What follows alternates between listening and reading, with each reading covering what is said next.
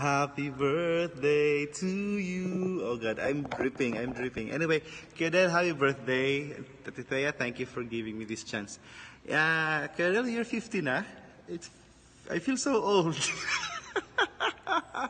I am here in Cebu, still finishing my master's in clinical psychology. And yeah, I can't imagine it that you are 50 and I'm almost there also. Just four years apart, you know. Um, to the information of everyone, I share some parts of my childhood with Curadel when they adopted us, me and my mom, in their house in Parang in Marikina.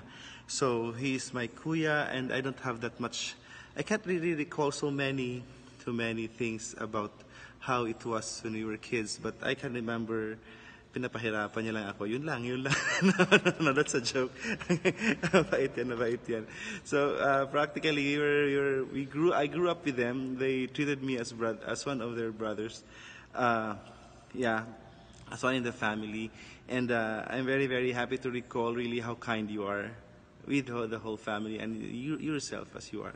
Thank you, Kedel, for such a very good example of how it is to be a person and how it is to be a Christian. Mas mabait ka pa nga sa akin eh. By the way, pare po pala ako. I just said, Mass, that's why I'm dripping here in the, at the choir loft of the ano, San Pedro Calungsod Shrine in Jakosalem here in Cebu.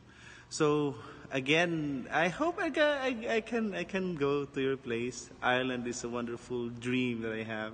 I think I'll be I'll be taking up my doctorate in clinical psychology somewhere in Europe. Well, hopefully, we pray, we pray. Please pray for me also. And uh, as I am asking you to pray for me, I definitely assure you of my prayers always.